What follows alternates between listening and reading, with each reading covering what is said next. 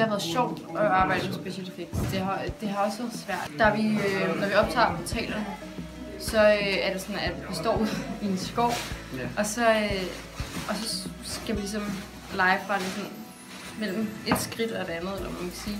Så, øh, så kan man stå et sted, og så skal man tage et skridt, og så er man lige pl- pludselig i en helt anden verden, skal man spille, ikke? Og så står der en, øh, en med en hvid handske, og så skal man ligesom gøre sådan, så er man igennem, ikke? Og det, det kan godt være lidt svært at forestille sig. Ja. Og sådan stå derude i en eller anden skov på Fyn eller sådan noget, hvor det var. Ja. Og så bare skulle være sådan, wow, hold da op, ikke? Som om man er i en helt anden verden, og dem er man overhovedet ikke, man tager bare et skridt. ja. Så det, det er meget sjovt. Øh, baggrunden til den står rundt om studiet, der er grønt. Og det er fordi, at øh, dem, som sidder på computer og skal lave øh, øh, special effects, de, de gør det bedst, hvis der er en grøn baggrund, fordi så kan de lave en federe baggrund end lige grøn. Og her har vi faktisk øh, studiet set, som den står udenfra. Og udenfra kan I se, der er det sådan noget lidt sort, og det ser, se, det er noget lidt papmaché-agtigt. Men når man først kommer herind om bagved her, så kan man godt se, at det faktisk ligner ægte sten, men øh, i virkeligheden så er det noget skum, gummi noget.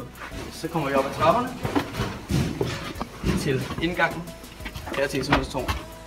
Så når man filmer i studiet, så er der altså nogle problemer, blandt andet her, så kan man ikke filme loftet, så man kan se, der er, der er fundgivelse. Så hvad hedder det? Øhm, så det er lidt begrænset, hvad man kan filme i et studie.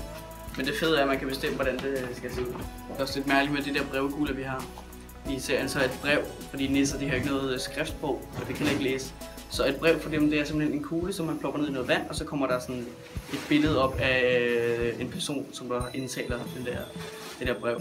Og, øhm, og det kan man jo ikke i virkeligheden. Så, øhm, og alligevel så skal vi spille, at der er en, der står og taler til os. Får nogle Ja. informationer, Ja, ja, og hold da ja, op. og man skal virkelig spille stort på det, og det er ikke, øhm, det er ikke så let, når man egentlig bare kan en vandpyt.